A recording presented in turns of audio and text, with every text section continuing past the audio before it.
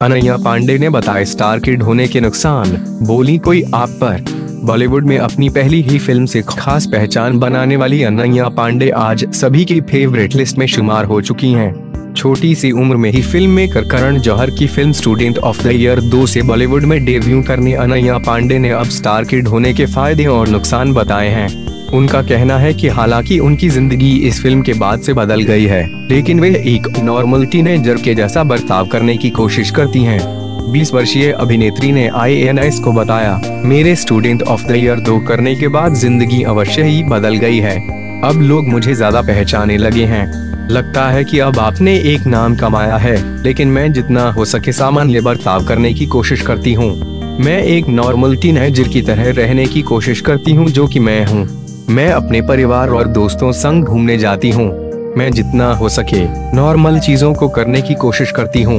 अनया मशहूर एक्टर चंकी पांडे की बेटी हैं।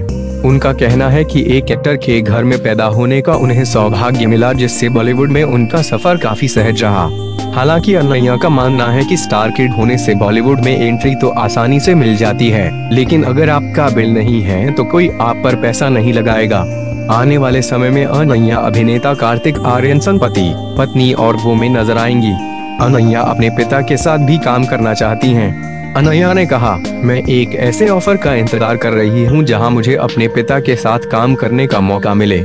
मुझे उम्मीद है कि कोई हमें साथ में किसी फ़िल्म का ऑफ़र दे। अगर कोई सुन रहा है तो प्लीज़ ऐसा कीजिए। पति, पत्नी और वो साल 1978 में आई बी आर चोपड़ा की फ़िल्म की रीमेक है। इस नए संस्करण का नाम भी पुरानी फ़िल्म के नाम पर ही रखा गया है। कार्तिक फ़िल्म में उस किरदार को निभाएँगे जिसे संजीव कुमार ने निभाया था। भूमि पेडनेकर पत्नी के किरदार में नज़र आएँगी जिसे विद्या सिन्हा ने निभाया था और अनैया फ़िल्म में वो की भूमिका निभा रही है जिसे ओरिजिनल फ़िल्म में रंजीता ने अदा किया था। इसके निर्देशक मुद्दसर अज़ीज़ हैं। यह फ़िल्म अगले साल 10 जनवरी को रिलीज़ होगी।